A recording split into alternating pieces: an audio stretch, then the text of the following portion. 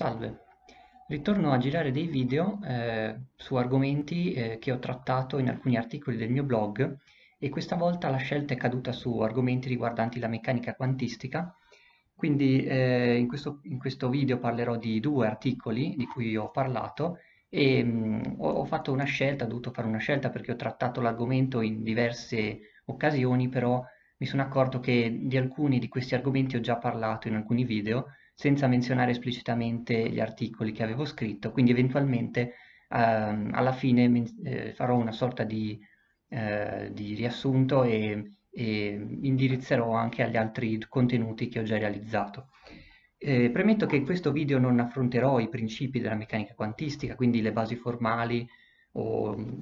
per così dire i concetti matematici, per questo sarebbe, ci sono già abbastanza video, per esempio video lezioni disponibili online ci sono alcuni canali che si occupano di didattica anche della fisica e quindi non è il mio obiettivo, eh, questo non è l'obiettivo di questo video. Oltretutto, come sempre io suggerisco per chi vuole conoscere approfonditamente questi argomenti di procurarsi un libro di testo e un, quindi un libro universitario, un'introduzione alla meccanica quantistica e studiare su questo.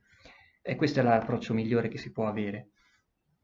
Eh, qui tratterò solo alcuni argomenti attinenti alla meccanica quantistica o sue interpretazioni o anche applicazioni, due in particolare, una, una, sarà, una parte sarà dedicata a interpretazioni e una a una particolare applicazione, di cui ho trattato in due articoli del mio blog che poi lascerò, eh, di cui lascerò il link nella descrizione del video.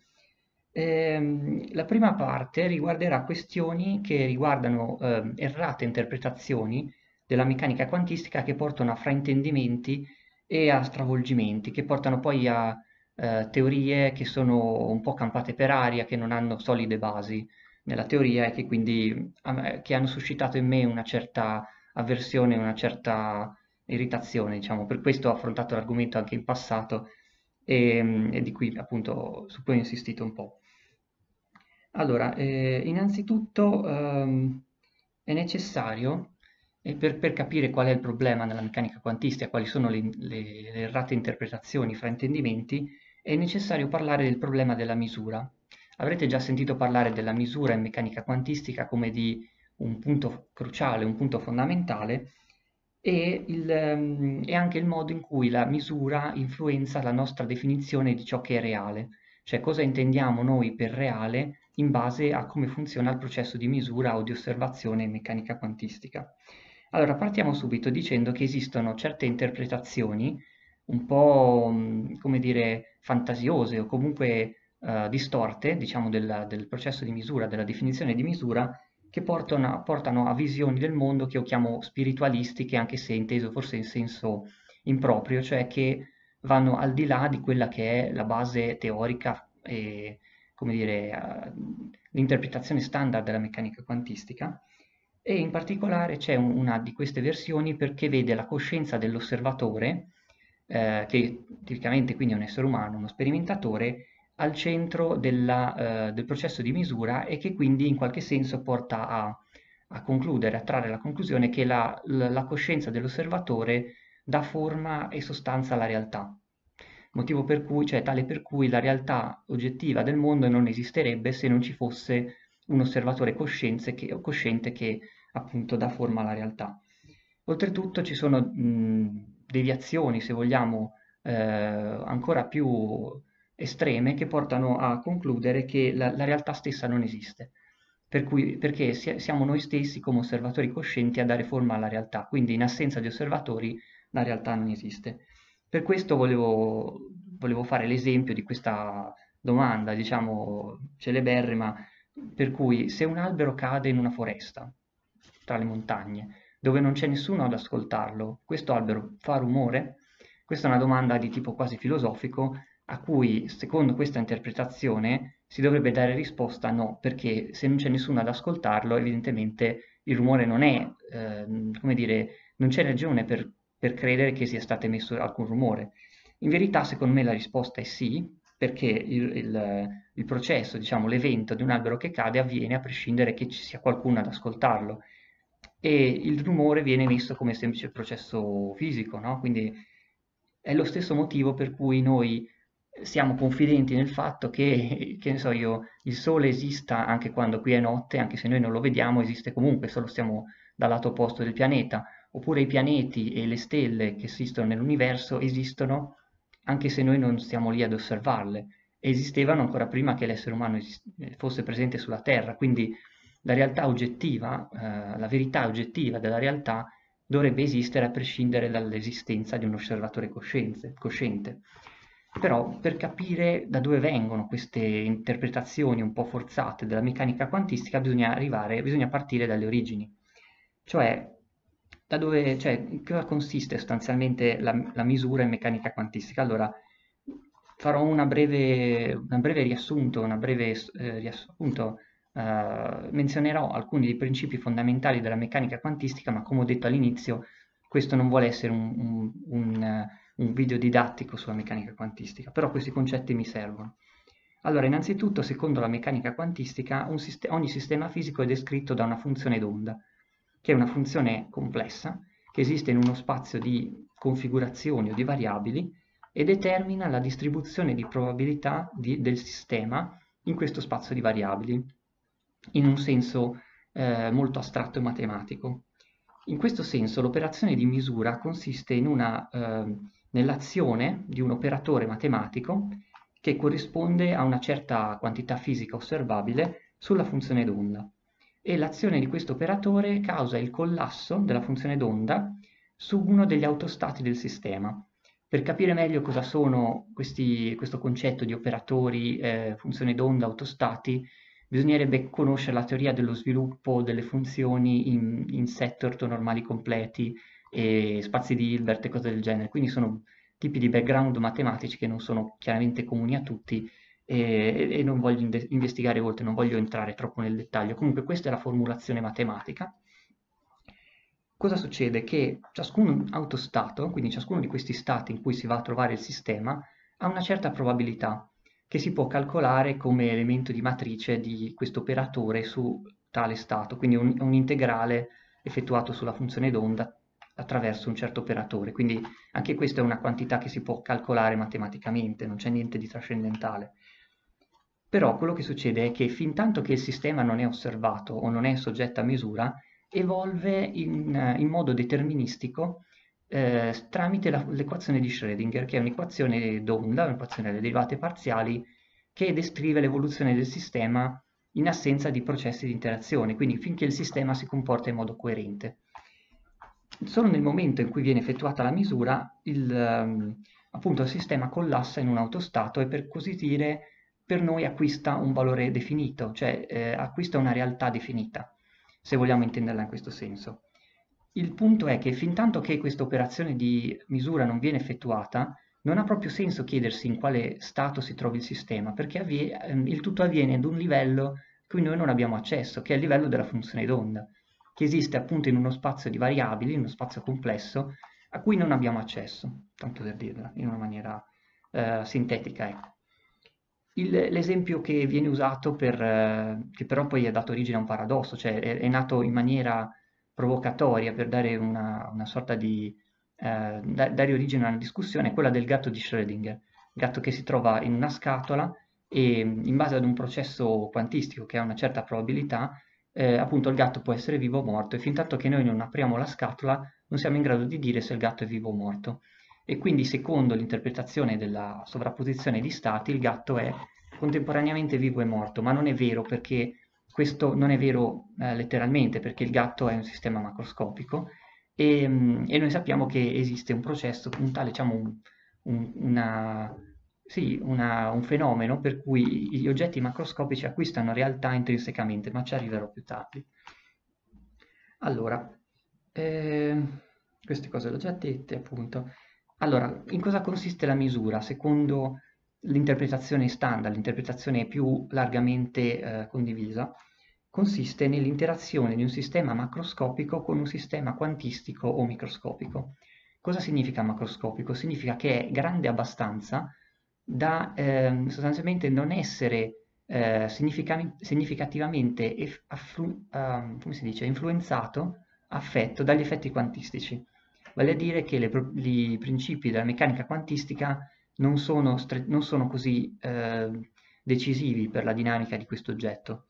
Quindi per esempio un granello di polvere è un oggetto relativamente piccolo, ma grande abbastanza da essere considerato classico, perché noi possiamo in ogni momento determinare la sua posizione e velocità e possiamo seguirne la traiettoria, per esempio. Lo stesso non vale per un elettrone a livello proprio microscopico. Allora, un'altra cosa importante, questo sistema macroscopico non deve necessariamente essere cosciente, può essere qualunque cosa, può essere un detector, cioè un rivelatore per esempio, come nell'esperimento della doppia fenditura che osserva il passaggio di una particella, oppure un oggetto macroscopico qualunque come appunto un granullo di polvere, come ho già detto. Quindi immaginatevi un atomo nello spazio interstellare, nel vuoto, quindi in privo di assoluta di interazione con qualunque cosa, e mm, un granello di polvere interstellare passa, interagisce con l'atomo e causa per esempio una transizione, che so io, un, un cambiamento nello stato dell'atomo, questo è equivalente a un, a un procedimento di misura in cui non c'è nessun osservatore cosciente coinvolto, quindi il, il, processo di misura non richiede la presenza di una coscienza in questo senso. Allora, cosa distingue un oggetto microscopico da un oggetto macroscopico? Cioè, qual è la soglia al di sopra o al di sotto della quale si passa da un regno ad un altro, dal regno classico a quello quantistico? Questo non è ben definito, non è ben chiaro ancora, e in effetti, ehm, diciamo, col procedere del, della tecnologia, dell'accuratezza delle misure, oggi si riescono a testare proprietà quantistiche anche su oggetti relativamente grandi. Per esempio, si è partito prima dalle particelle elementari, gli atomi, gli ioni per esempio, nuclei carichi, eh, fullereni. I fullereni sono mh, macromolecole di carbonio che possiedono 60 atomi di carbonio, quindi sono abbastanza grandi continuano a mostrare proprietà quantistiche, per esempio creano pattern di interferenza nell'esperimento della doppia fenditura e oggi si pensa che anche i virus, che sono la forma più eh, vicina alla vita, sono ancora un proto-vita, diciamo, sono una vita piuttosto ancora elementare e sono molto piccoli e possiedono certe proprietà quantistiche, sono influenzati in qualche maniera da certe proprietà della meccanica quantistica, quindi il livello si sta spostando sempre di più siamo in grado di osservare uh, fenomeni quantistici anche in oggetti relativamente grandi. Però cosa succede? Che al crescere della dimensione, della complessità in termini di numero di costituenti e dell'energia del, dell'oggetto, eh, cosa succede? Che sostanzialmente viene una sovrapposizione incoerente, quindi anche una, una interferenza tra le varie funzioni d'onda dei costituenti che costituiscono appunto questo oggetto macroscopico questa sovrapposizione e eh, interferenza ha, stesso, ha, lo stesso effetto di un procedimento di misura, de, de, della misura un, da parte di un oggetto macroscopico sul sistema quantistico. Quindi l'effetto complessivo è quello che l'oggetto complessivamente si comporta come se fosse classico, quindi dal nostro punto di vista acquista realtà fisica eh, in virtù di, di, se stesso, quindi non c'è bisogno dell'intervento di qualche cosa di esterno, dell'operazione di qualcosa di esterno per dare realtà a questo sistema fisico. Quindi appunto esiste un principio, esiste una ragione per cui oggetti come eh, il gatto di Schrödinger non è un oggetto quantistico perché è un oggetto talmente complesso, talmente grande, con un tale numero di costituenti elementari che è impossibile statisticamente che si comporti in maniera quantistica. Quindi adesso faccio breve, un breve salto, appunto, per, per, parlare di un altro argomento, ma alla fine farò un breve riassunto. Allora, l'altro argomento, l'altra interpretazione, diciamo, che interessa discutere è quella della, sostanzialmente, cosa succede alla realtà quando avviene un processo di misura. E, e, metterò a confronto due interpretazioni. Una è quella di Copenaghen, da Niels Bohr, che è un grande fisico teorico degli inizi del Novecento, che era danese, e, ehm, e, questa è quella più largamente, ehm, come dire, eh, accettata nella, nella, comunità scientifica e consiste nel fatto che quando avviene un processo di misura, appunto, la funzione d'onda del sistema collassa in uno dei suoi autostati e noi osserviamo eh, la quantità misurata come osservabile fisica e questo ho già detto più volte, quindi ormai mi sembra che sia entrata, spero di aver comunicato il concetto.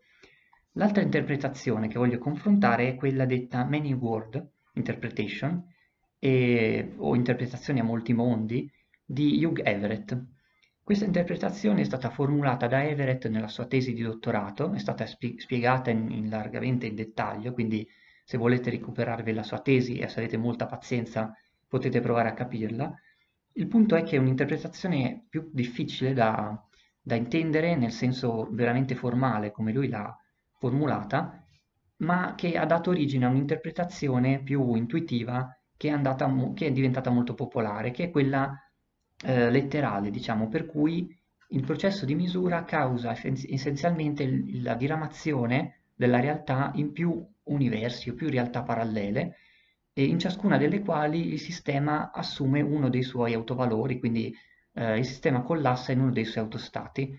Quindi la funzione, la funzione d'onda non ha una certa probabilità di, di, finire in uno dei suoi autostati, ma cade, finisce in, in tutti gli autostati a, a lei disponibili,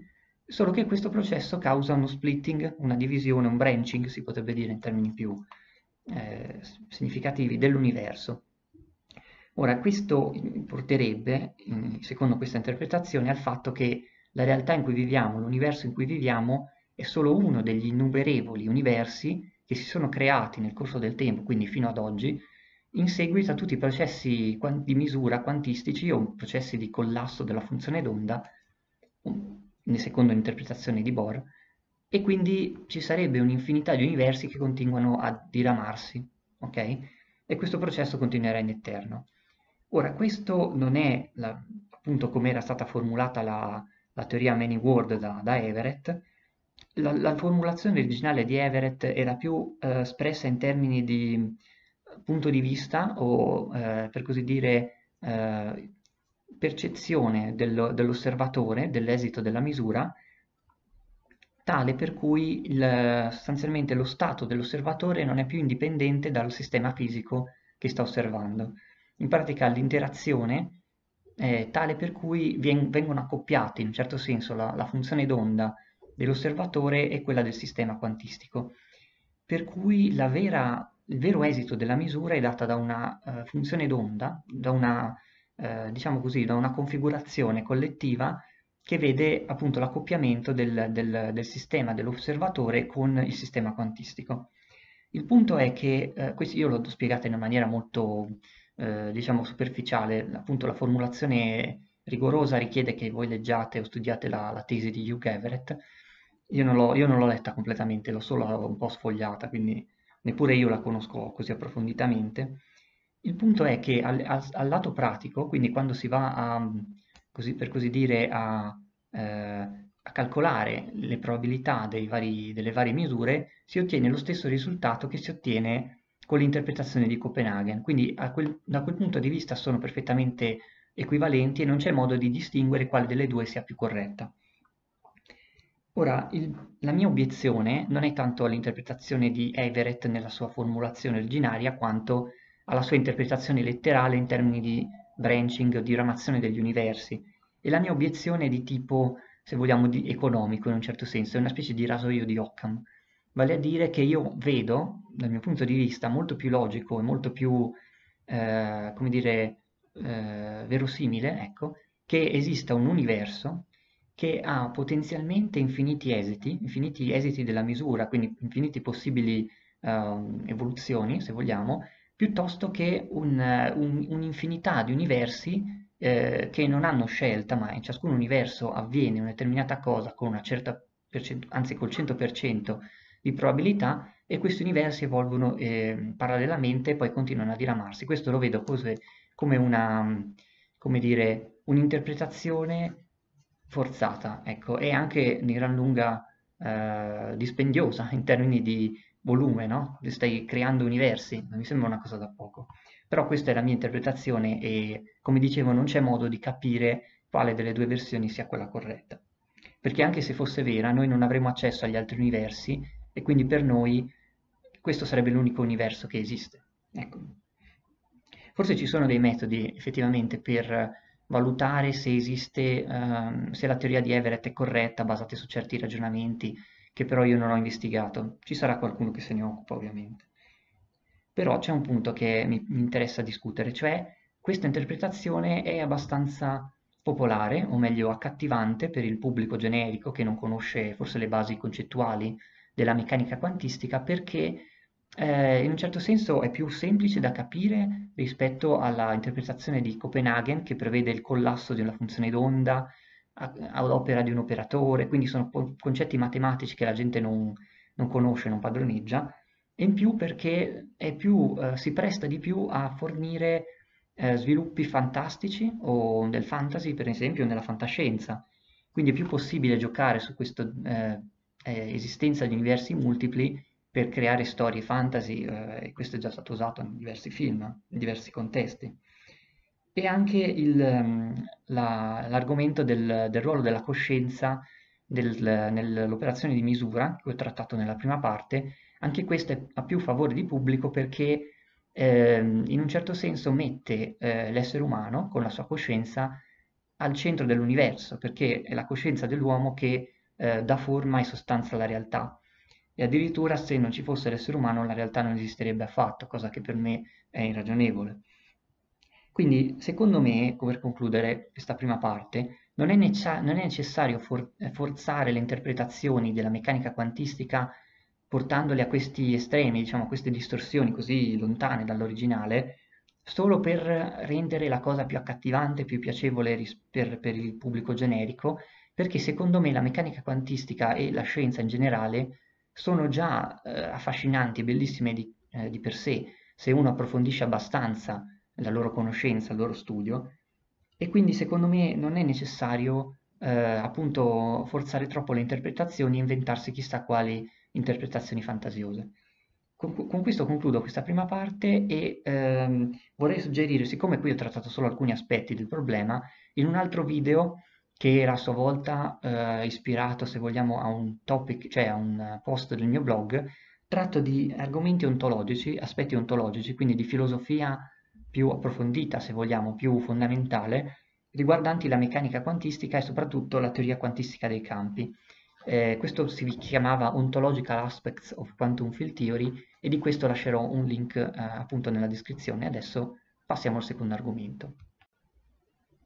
In questa seconda parte voglio parlare di un'applicazione particolare della meccanica quantistica, anche se in verità è più un'applicazione della teoria quantistica dei campi alla, allo studio delle particelle elementari, quindi in particolare di una proprietà di una particella elementare ed è il momento magnetico anomalo del muone. E secondo me questo è un esempio, eh, tra tanti, che mostra la potenza del, del, formalismo e della struttura della meccanica quantistica in termini di eh, capacità di predire eh, appunto osservazioni fisiche, quindi di, di avere un, un, un, fantastico accordo diciamo, con le osservazioni sperimentali e anche la bellezza del metodo, del, la sistematicità, il modo in cui tutto quanto è stato formalizzato in modo preciso. Allora, innanzitutto qui si tratta di un argomento che riguarda le particelle elementari, magari non tutti sono familiari appunto con queste particelle elementari, eh, devo, devo, così eh, introdurre alcuni concetti, devo ricordare alcune, alcune informazioni, alcune, alcune nozioni. Allora, le particelle elementari sono, è difficile definire cosa sono, in un altro video le ho definite in più modi, come eh, manifestazioni dei campi, eh, fluttuazioni nei campi quantistici o addirittura come manifestazioni fisiche di proprietà di simmetria delle leggi di natura. In questo caso, per, questo, per i nostri scopi di oggi, non ci interessa sapere cosa sono a livello fondamentale, però sono caratterizzate da certe eh, quantità, proprietà intrinseche, come per esempio la massa, la carica elettrica, lo spin e il momento magnetico, appunto, che è l'argomento principale. Queste caratteristiche intrinseche possono essere misurate, quindi sono osservabili fisiche, e è possibile confrontare l'esito delle misure su queste quantità con previsioni della teoria, per quelle quantità per cui è possibile fare delle previsioni teoriche, appunto. Per non per tutte è ancora possibile. Alcune sono solo parametri liberi della teoria, altre si possono calcolare. Allora, innanzitutto esistono valori di queste quantità che si possono definire livello, ehm, all'ordine zero, all'ordine imperturbato delle teorie. Cosa significa imperturbato? Immaginate di prendere un elettrone e metterlo nel vuoto, da sé, isolato da tutto il resto dell'universo, avrà delle proprietà intrinseche che, a cui possiamo assegnare il valore zero, il valore intrinseco imperturbato. Però queste, eh, noi sappiamo dalla teoria che questi, queste quantità eh, si, per così dire, vestono di certe perturbazioni, quindi eh, vengono modificate e vengono eh, sì, influenzate da dei processi di autointerazione. Cioè significa che la particella non è mai veramente isolata dall'universo, ma interagisce con se stessa tramite dei fenomeni che sono descritti dalla teoria delle perturbazioni. Questi fenomeni, questi processi portano a eh, modifiche o appunto variazioni in queste proprietà fondamentali per cui è possibile calcolare le, eh, appunto le, le correzioni a queste quantità dovute agli effetti perturbativi. Tutto questo lungo discorso serviva appunto a, a introdurre eh, così lo schema generale di questo argomento. Parliamo di momento magnetico anomalo del muone. Allora, questo significa che noi stiamo calcolando l'anomalia di cui si parla qui, è la deviazione del valore vero di questa quantità dal valore di ordine 0, che entra quindi nelle teorie eh, senza considerare questi effetti di autointerazione, che però sono fondamentali. Allora, cos'è il muone? Il muone è una particella elementare che è parte di una famiglia di, di particelle che sono dette leptoni. Esistono, esistono, leptoni carichi che sono carichi negativamente, sono l'elettrone, il muone e il tau, e poi esistono i, neutroni, i leptoni neutri che sono i neutrini. Eh, l'elettrone è quello più fam familiare, tutti avete familiarità con l'elettrone, il muone è un pochino più esotico, è una particella che è circa 200 volte più massiccia, più pesante dell'elettrone ed è instabile, ha una vita media di circa 2 microsecondi. Il tau pesa circa 5 volte, se non sbaglio, forse 10 volte, non ricordo, comunque significativamente più del muone ed ha una vita media ancora più breve. Eh, quindi ci sono certe caratteristiche che rendono il muone il, soggetto ideale per certi studi, per certi tipi di calcoli, diciamo, e certi tipi di verifiche eh, teo teoriche, diciamo, della teoria, del modello standard delle particelle, rispetto per esempio all'elettrone che è stabile e comunque ha, ha una massa molto piccola, o rispetto al tau che invece è molto instabile ma ha una massa molto grande. Quindi detto questo, spero di aver fornito un inquadramento generale, poi alla fine fornirò anche una, un riferimento eh, biografico per poter approfondire. Allora, il momento magnetico di cui si parla è una quantità eh, che è associata alle particelle, è una quantità vettoriale, quindi come una freccia, diciamo così, ed è eh, di solito associata, in termini classici, il concetto a cui siamo più familiari, a piccole spire di corrente, piccoli loop di corrente che eh, generano un campo magnetico e un, eh, appunto un momento magnetico. Eh, per esempio una, una, bobina percorsa da corrente oppure un magnete, un magnete stesso, una calamita, possiede un momento magnetico.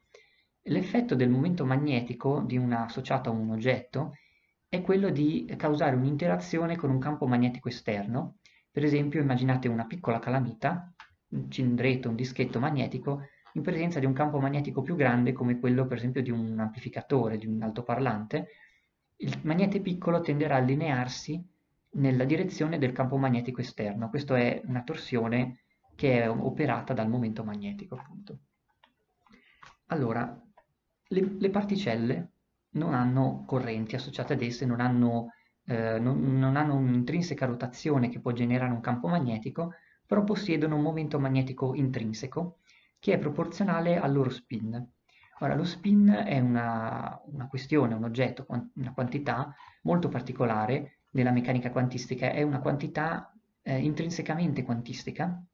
e mm, non è possibile interpretarla in modo classico, se non stravolgendone il significato. A volte si dice che lo spin è come se la particella ruotasse intorno a un proprio asse e per questo si, si chiama anche momento, momento angolare intrinseco. Però questa interpretazione è, non è corretta a livello fondamentale perché le particelle elementari, per quanto noi sappiamo, sono puntiformi, quindi non hanno un asse intorno a cui ruotare, non hanno, non hanno nessuna parte che può muoversi intorno ad un asse, sono puntiformi.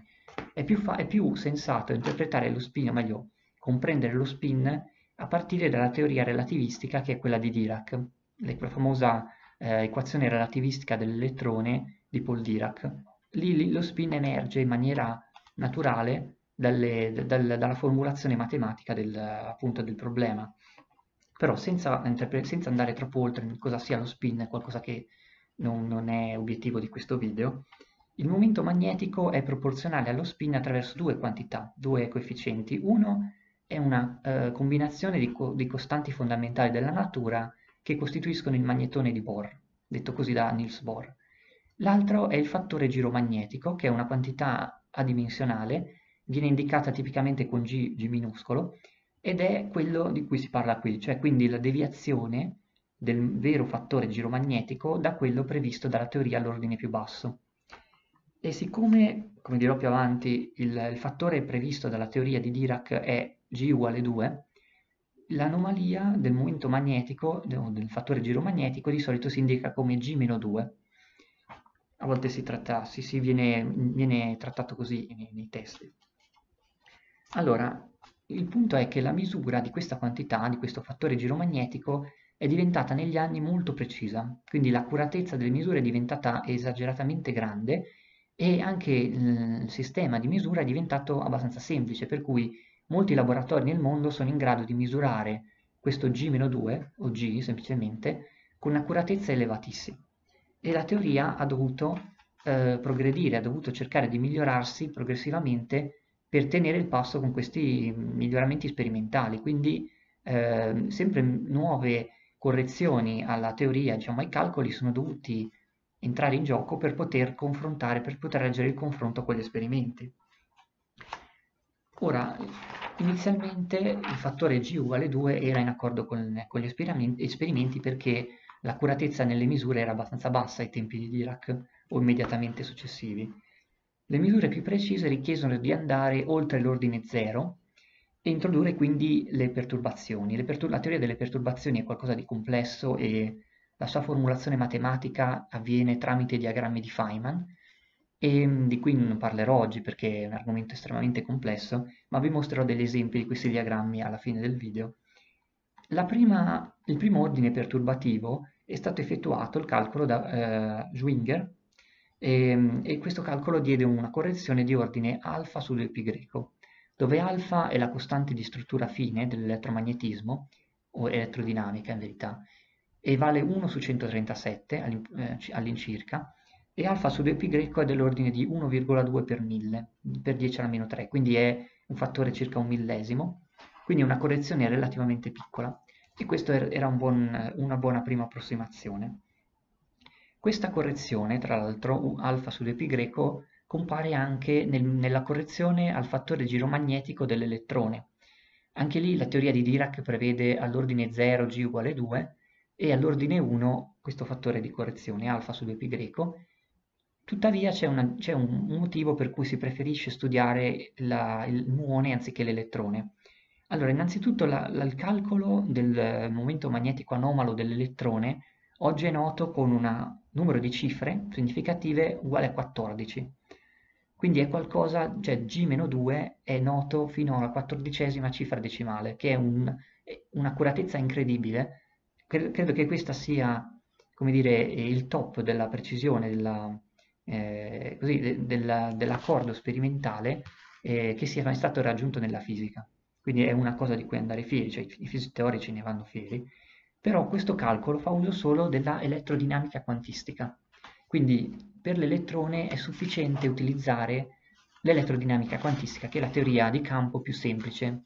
da formulare, anche in cui eseguire i calcoli. Questo perché l'elettrone è sufficientemente leggero, una massa abbastanza piccola, da poter trascurare correzioni di, eh, proporzionali alla massa o alla massa al quadrato, adesso non ricordo. Queste correzioni però diventano importanti per il muone. Il muone pesa 200 volte, volte più dell'elettrone e si vede che già andando ai primi ordini di sviluppo è necessario considerare anche i contributi che vengono al di fuori dell'elettrodinamica quantistica e quindi significa spingersi nei regni delle interazioni deboli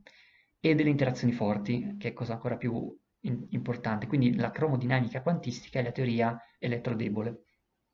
Questo complica le, la situazione enormemente e rende anche il calcolo di questo G-2, questo fattore giromagnetico, meno preciso. Infatti per il muone si conoscono fino a 11 cifre decimali, se non sbaglio, quindi circa mille volte peggio, una situazione mille volte peggiore che per l'elettrone. Però il punto è che, ehm, diciamo, avendo, eh, dovendo includere nel calcolo contributi che vengono dal, da tutte sostanzialmente le, le, interazioni del modello standard, questo calcolo è una prova eh, significativa della potenza appunto della, del formalismo della, della quantum field theory e appunto il modello standard delle particelle, quindi è un calcolo molto più interessante da questo punto di vista. Eh, appunto, ah, ecco, per la QED, che è la teoria di campo più semplice, quindi l'elettrodinamica quantistica, il calcolo è stato portato avanti fino al quinto ordine delle perturbazioni, che significa, nei termini di diagrammi di Feynman, diagrammi che possiedono fino a 5 loop. I loop sono cammini chiusi, sono percorsi chiusi in questi diagrammi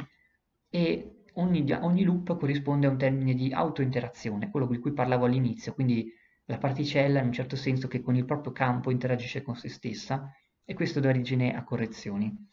Il calcolo a 5 loop, o comunque a un grande numero di, di, di percorsi chiusi, quindi a ordini alti nella perturbazione, è molto complicato, sia dal punto di vista analitico, quindi il punto di vista di formulare questi termini, questi elementi di matrice, perché alla fine sono eh, calcoli perturbativi, prevedono l'uso degli della, elementi di matrice di, di questi operatori su, sui vari stati, e anche numericamente, perché questi calcoli ovviamente non si possono condurre a mano su un foglio di carta, bisogna dare in pasto queste formule a un computer. E questi calcoli quindi sono stati portati avanti negli anni e oggi sono molto accurati. Quindi questo però non comportava particolari difficoltà concettuali. Invece per la QCD e per le interazioni deboli stati, è stato necessario ricorrere anche a, delle, a degli altri scamotage, delle, degli stratagemmi, perché la, per esempio la, la cromodinamica quantistica è perturbativa solo alle alte energie, ma facendo i calcoli ci si accorge che anche termini di bassa energia nella teoria delle interazioni forti diventano importanti. E per calcolare questi non è sufficiente, eh, insomma non è così altrettanto agevole. E questi termini vengono da eh, correzioni adroniche, sono termini adronici, cioè risonanze energetiche con masse di certi adroni, come sono per esempio pioni o protoni o cose del genere. Questi sono termini che non si possono calcolare in teoria delle perturbazioni e quindi è stato necessario ingegnarsi per trovare una, un metodo per risolvere la questione. Quindi questa è una cosa che ha coinvolto, ha richiesto molto più impegno. Allora, per maggiori approfondimenti, io non entrerò assolutamente nei calcoli, né nella, nel dettaglio di come questi calcoli vengono effettuati, vi rimando ad un libro che si chiama, in maniera poco originale, The Anomalous Magnetic Moment of the Muon, o Muon, di Friedrich Jäger-Lehner, spero di averlo pronunciato correttamente, che è un libro di oltre 400 pagine, una monografia su questo argomento, corso di, cioè sostanzialmente per comprenderlo è necessario padroneggiare la fisica teorica, quindi non è chiaramente alla portata di tutti.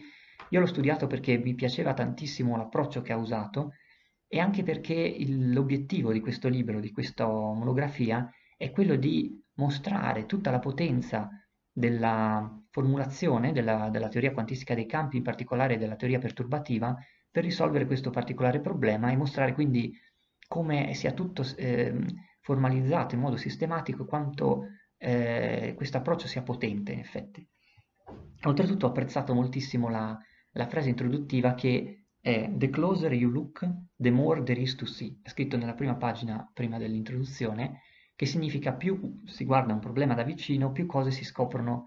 che non conoscevamo e in senso più lato, diciamo più senso più metaforico, più si ci spinge in profondità nell'indagine di un problema e più si scoprono cose eh, meravigliose o cose inaspettate, no? E, e, la complessità aumenta sempre di più. Esattamente questo è il problema, cioè più si sonda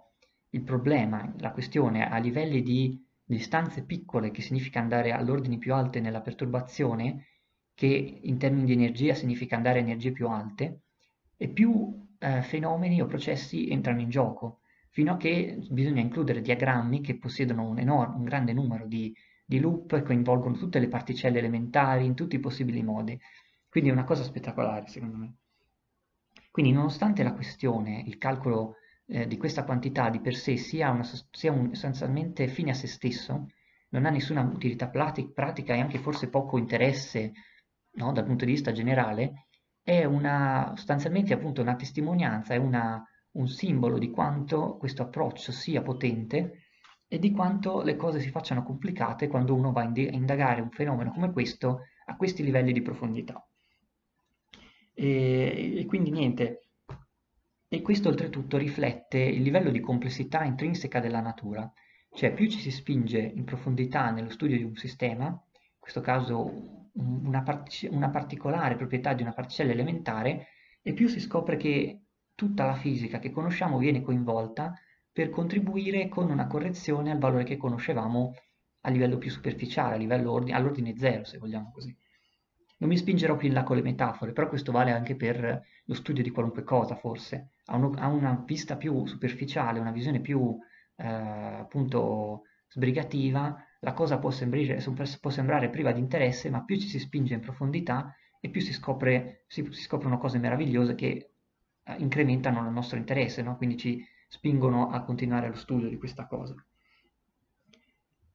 La complessità di, questa, di, questi calcoli e anche della natura, quindi, si apprezza molto di più osservando i diagrammi che vi mostrerò eh, in seguito, presi da questo libro. A questo punto eh, vi, vi lascerei appunto a queste immagini e quindi ci vediamo alla fine per le conclusioni. Dunque, come dicevo, voglio mostrarvi alcune immagini o alcune pagine da questo libro di cui vi ho parlato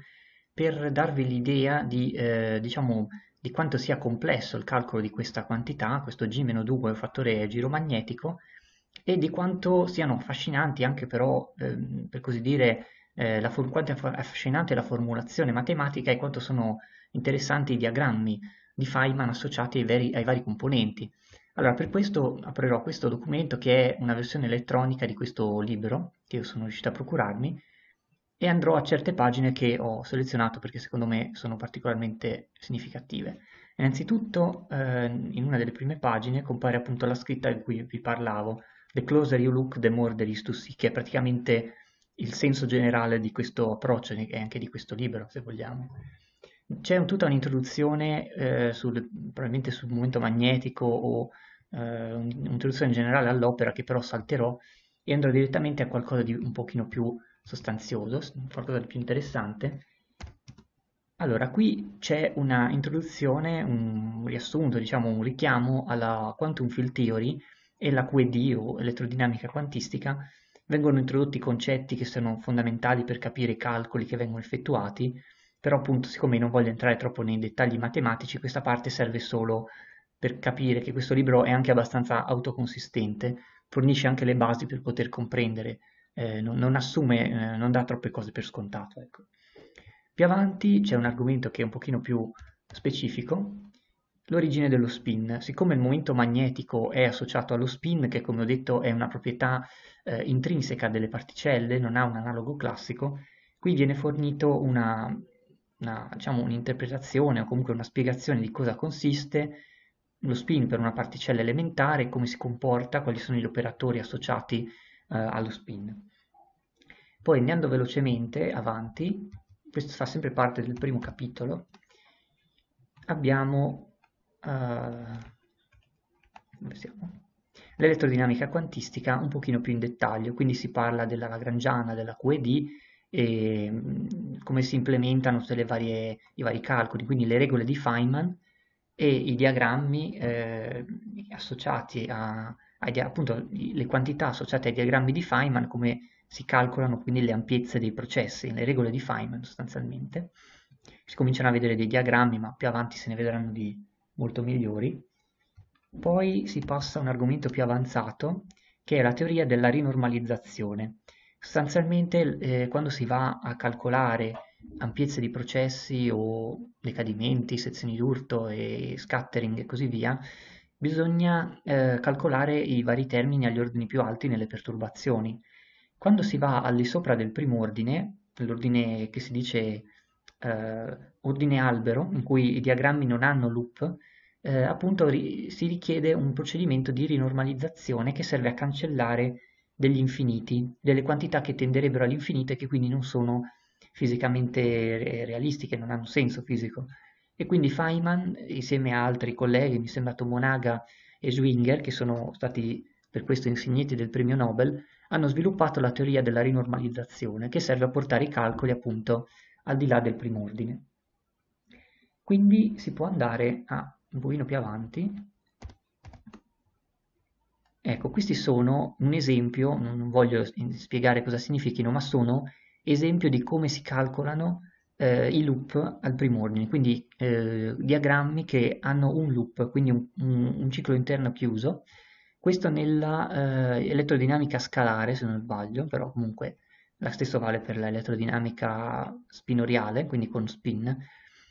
e si vede che le espressioni sono piuttosto complicate, quindi solo per il primo eh, ordine, quindi in, in, all'ordine con un solo loop, si vede che le espressioni sono piuttosto complesse.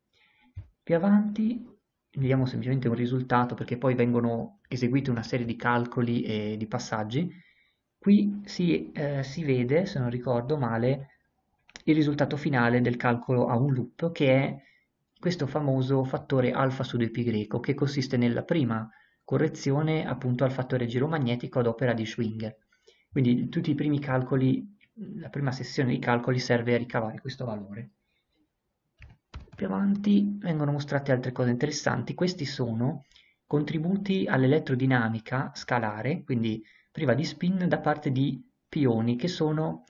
particelle costituite da due quark. In particolare c'è per esempio il, il contributo dal pi 0, che è un pione neutro, che decade in due fotoni. Quindi è un processo elettrodinamico, cioè elettromagnetico, che però coinvolge particelle non elementari. Qui si, vede già, comincia, si comincia a vedere un po' di complessità.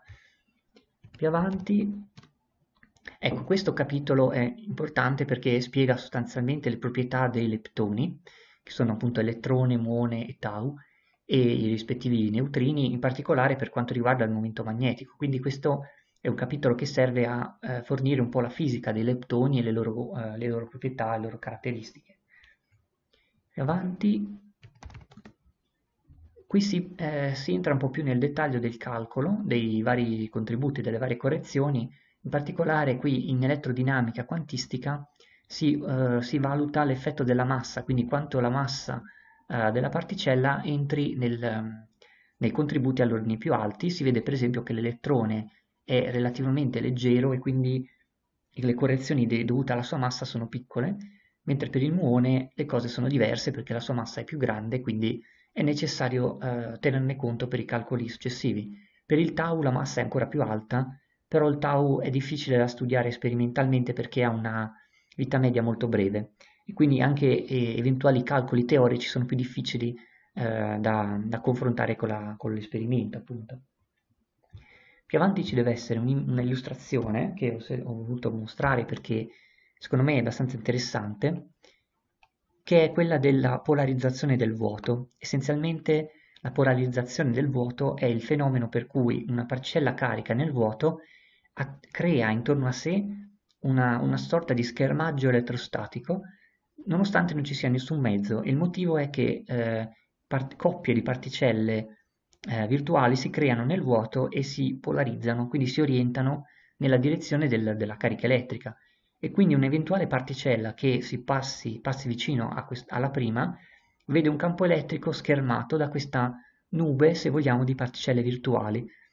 E questo è eh, i contributi alla polarizzazione nel vuoto, nel, um, nei diagrammi di Feynman si, eh, si manifestano appunto come loop, che sono essenzialmente coppie di particelle virtuali eh, per esempio elettrone e positrone, che, eh, che, danno un contributo appunto a, al calcolo delle ampiezze. Poi c'è tutta una serie di immagini che voglio mostrarvi che sono diagrammi sostanzialmente, quindi non c'è più tanto da dire quanto da ammirare.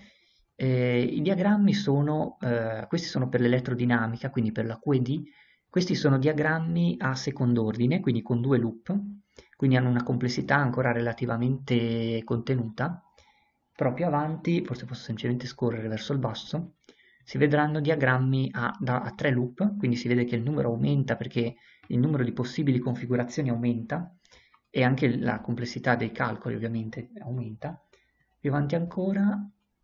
si dovrebbero trovare i quattro loop. Questi diagrammi sono interessanti perché vedete che anche all'interno del loop si creano loop secondari, loop andidati se vogliamo, e qui sono solo una, una piccola parte dei, di tutti i diagrammi possibili e scendendo ancora si dovrebbero vedere i 5 loop, un piccolo numero di possibili contributi a 5 loop, esatto. Di questi ce ne sono un numero spropositato, quindi il calcolo è, è molto complesso anche dal punto di vista numerico. E più, più scendendo ancora si esce, se non sbaglio, dalla Q e D. Esatto, questi sono contributi dalle interazioni deboli che prevedono quindi l'uso anche dei bosoni vettori WZ e qui c'è anche il uh, l'X, quindi il campo di X. Velocemente, pagina prossima, ci sono contributi all'ordine successivo nelle interazioni deboli e andando più avanti c'è un intero capitolo, se non sbaglio, dedicato agli effetti hadronici, quindi eh, contributi dalla QCD o Quantum Chromodynamics, però per quanto riguarda la parte non perturbativa, quindi la parte che non è possibile calcolare per così dire, da principi primi secondo la teoria delle perturbazioni. E questa è, un, è una parte che introduce la maggior parte dell'errore, la maggior contributo all'errore, e infine c'è un intero capitolo dedicato agli esperimenti, che quindi mostra l'accuratezza degli esperimenti e fa il confronto con la teoria. E quindi il libro si conclude con delle conclusioni in generale. Quindi, a conclusione, voglio lasciarvi con alcune considerazioni conclusive. Eh, beh, spero innanzitutto di avervi, con questa discussione, diciamo, avendovi presentato questi argomenti, di aver suscitato un po' di interesse per, nei vostri confronti, diciamo, verso la meccanica quantistica, le sue interpretazioni, anche qualcosa, qualcuna delle sue interpretazioni più fantasiose o più campate per aria che io ho cercato di discutere, e questa sua applicazione particolare a un problema apparentemente così irrilevante, ma in verità, secondo me, molto interessante. Eh, voglio lasciarvi per ulteriori approfondimenti. Questo video serve anche un po' per eventualmente aiutarvi a orientarvi in questo argomento, piuttosto complesso e vasto. Io ho realizzato dei video in passato, uno l'ho già menzionato, è Ontological Aspects of Quantum Field Theories,